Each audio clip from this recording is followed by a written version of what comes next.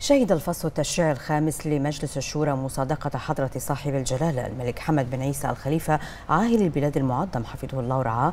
على أربعة قوانين كانت في الأصل اقتراحات بقوانين تقدم بها عدد من أعضاء مجلس الشورى. نعم وذلك وبعد أن استكملت هذه الاقتراحات دورتها القانونية وصولا إلى إصدارها كقوانين نافذة وهي تعنى بالشأن العدلي والتجاري والرياضي والأمني.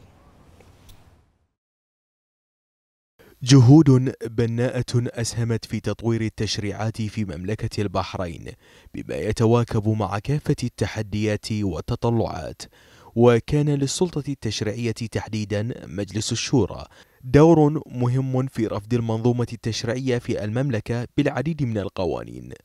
الفصل التشريعي الخامس وفي إطار حرص مجلس الشورى على تفعيل أحد الأدوات التشريعية ممثلة في الاقتراح بقانون شهد مصادقة جلالة الملك المعظم حفظه الله ورعاه على أربعة قوانين كانت في الأصل اقتراحات بقوانين ومنها قانون بشأن الاحتراف الرياضي وقانون رقم 6 لسنة 2020 بتعديل الفقرة ألف من المادة 284 من قانون الشركات التجارية.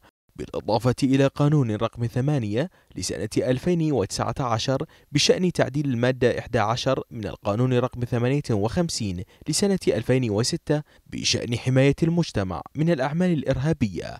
وأخيرا قانون رقم 5 لسنة 2019 بتعديل المادة 424 من قانون العقوبات والذي تم من خلاله سد الفراغ التشريعي في قانون العقوبات الحالي. القوانين التي صدرت كانت من تخصصات متنوعة رفضت المنظومة التشريعية بمملكة البحرين بكل ما من شأنه تعزيز بيئة المجتمع بأشخاصها الطبيعيين والاعتباريين لجعل المناخ المجتمعي والاقتصادي مؤطرا ضمن تشريعات تحفظ الحقوق وتعزز سلطة القانون.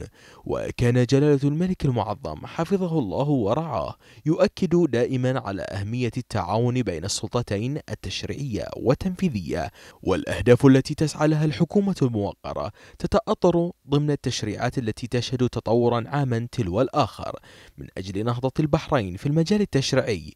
ولعل المجهود الحثيث لمجلس الشورى شاهد على التوافق والتعاون بين السلطتين التشريعية والتنفيذية.